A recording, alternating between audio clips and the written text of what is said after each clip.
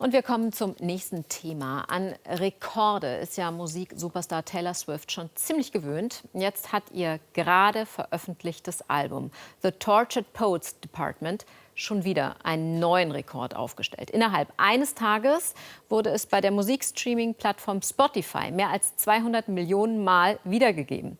Es ist ein Doppelalbum mit 31 Songs, in dem sich Swift vor allem mit dem Thema Trennungen beschäftigt. Mehr von Bastian Hartig. Es ist nicht ein Erdbeben, es sind zwei, mit denen Taylor Swift die Popwelt erschüttert und ihre Abermillionen Fans weltweit ins Delirium katapultiert. Zwei Stunden nachdem ihr lange erwartetes neues Album in den Streamingdiensten auftaucht, legt sie nochmal nach mit 15 zusätzlichen Songs. In The Tortured Poets Department, die Abteilung der gefolterten Poeten, tut Taylor Swift das, was sie am besten kann.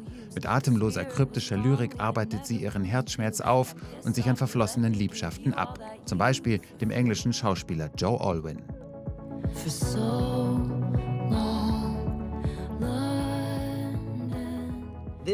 Mit 31 Songs ist es das längste Taylor Swift-Album überhaupt, aber auch das verletzlichste, das komplexeste.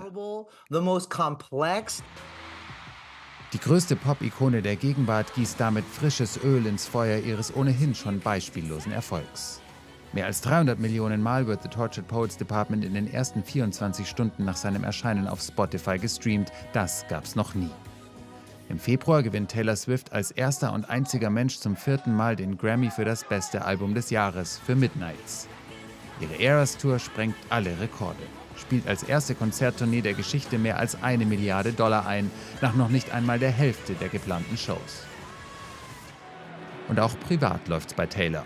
Seit Herbst ist sie mit dem American Football Star Travis Kelsey liiert. Mit ihrem Auftauchen beim Super Bowl zieht sie das Megasportereignis in den Orbit des noch gigantischeren Swift-Diversums. Nach der Albumveröffentlichung geht Taylor Swifts Eras Tournee am 9. Mai in Paris weiter. Das nächste Rätsel, wie sie die neuen Songs in ihre mehr als dreistündige Show integrieren will. Die Frage wird sein, ob die Songs dieser neuen Ära am Schluss der Show kommen oder ob sie sie schon früher spielt. Ich glaube, sie spielt sie am Ende. Im Juli kommt Taylor Swift für sieben Konzerte nach Deutschland. Und natürlich sind alle Auftritte schon längst ausverkauft.